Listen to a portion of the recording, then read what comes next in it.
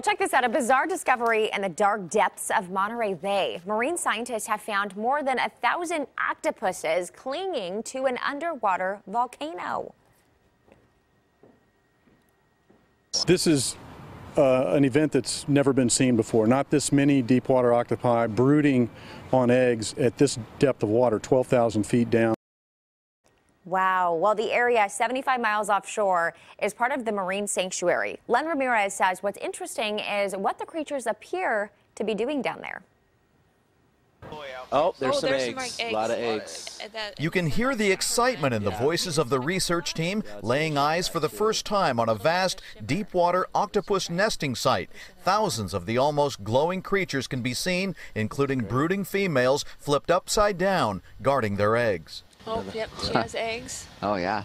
Is this enough octopus for you, Joe? The discovery was made by a team from the Monterey Bay National Marine Sanctuary. They were aboard a research vessel operating a remotely controlled underwater vehicle which captured these images. This is uh, an event that's never been seen before. Not this many deep water octopi brooding on eggs at this depth of water, 12,000 feet down.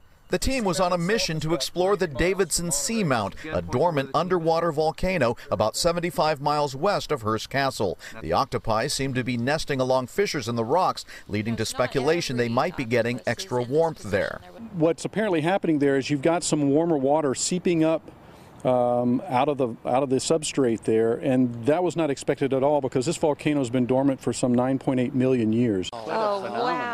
What they do know is that females can sit on their eggs for four years before they hatch, so being in slightly warmer water might cut their brooding time or make their offspring more healthy.